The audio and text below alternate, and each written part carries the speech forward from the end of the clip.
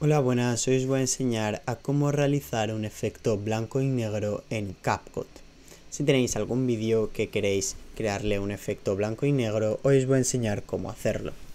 Lo vamos a hacer a través de esta aplicación que se llama CapCut, que está disponible tanto en iPhone, iPad como cualquier smartphone. Una vez nos metamos dentro de la aplicación, pulsaremos encima del nuevo proyecto. Aquí escogeremos el vídeo que queramos editar. Yo voy a escoger este vídeo de aquí. Una vez lo hayamos escogido, se nos abrirá esta pestaña y ahora aquí haremos lo siguiente. En el menú inferior lo deslizaremos hacia la derecha hasta encontrar la función de filtros.